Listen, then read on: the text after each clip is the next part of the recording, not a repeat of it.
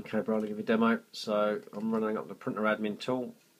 I've got um, these printers here are mapped through from my client machine, so these are back on my um, normal PC, and then I've remoted in obviously to this machine here. Um, what I'll do is I'll drop in here, and I'm just going to add more your account, which is what I'm logged in as, to two printers.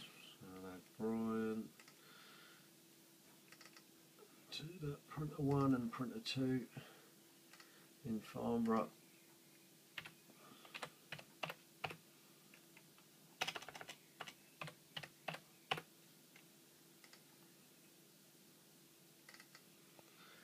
So I've got um, the Brian Jukes account added to two printers. I'll save changes close down the printer admin tool and then I've got uh, a shortcut on your desktop for mapping printers which is the thing that runs at logon normally but we might as well just do that now. Run the map printers. The utility starts up printer map blah, blah, blah, and then we see the printers arrive. Beautiful. Printer 1 printer 2 lovely as expected. Um, now the default was coming through from my um, endpoint uh, which is sort of part of the problem basically. So the, the default one's set there so if we go over to our print selector as a user and say we run up our tool from a user perspective rather than an admin and go to my printers and I can see my two printers there. And if I click printer 1 and hit set as default and apply changes it didn't apply the change over there. So printer 1 isn't my default and we'll do it on the printer 2 as well. So set that as default save the changes. And again it just hasn't changed um, at all there. Now the interesting thing is if we go into the registry and we drill down into the key of the default printer which is current user Microsoft oh sorry software.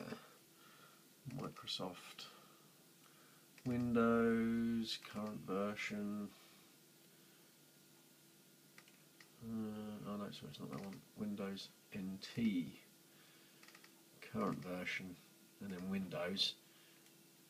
And we look at the device key there, which is what's the default printer, and that's actually set to our printer 2. So the registry key has been populated by your app absolutely fine. It's just the Windows thing here hasn't done it, and if I do like a refresh, you know, it's just not picking it up. Now the other, oh, refresh taking a while.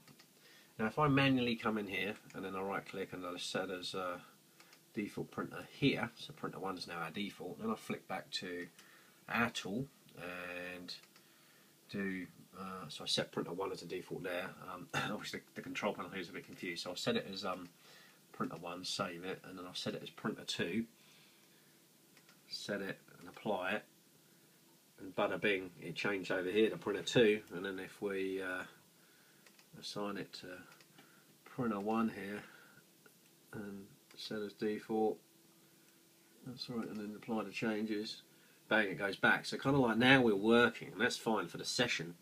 Um, the problem is that actually if we log off and log back on as the user then um, RDP or Citrix will basically set this one as the default printer again and our little our little script just doesn't doesn't really win. So um, Again, if we put that to 2 and apply the change and then close it, so it's on printer 2, um, set it manually as printer 1, rerun our map, so pretending we're logging on again, but without any of the um, buggy code.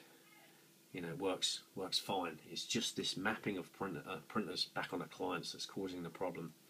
So I don't know if you know how it works, but basically in uh, Citrix World there's some policies, and in um, Microsoft Word, it's uh, World, it's inside hmm, inside my um, um, RDP session settings. So I say, please take my printers inside the uh, inside the session. So when you do uh, MSTSC to launch the RDP client, and then go inside of options and experience. No, advanced. Where is it? Local resources and uh, sorry it was on there local resources and printers is selected. That's why I'm getting the printers through from my uh, from my end my end machine into my session.